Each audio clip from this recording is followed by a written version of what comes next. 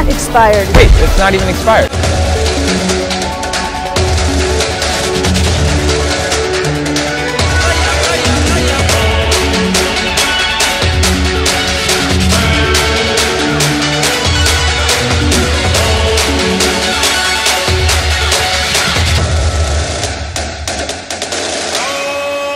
My work, your work, our work is different now because of the COVID-19.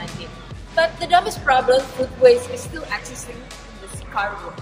Are we too young or are we too late to tackle this food waste problem? Are you taking any initiatives in your household or in your community to tackle the food waste problem?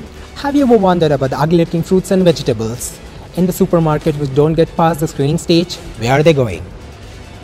So what is Feedhood all about? It's a community aiming to eradicate food waste. And we started taking individual action, but we decided to take it to the next level. Let's start a business on this. And for that, we need you. Eliminating the food waste problem, is that really possible? The answer is yes, it is, thanks to Feedhood. Because we have a vision. In that vision, we educate both the food and beverage businesses and consumers in order to bridge the logistics gap and eliminate the food waste problem. So give Feedhood a first chance and we will give food a second one.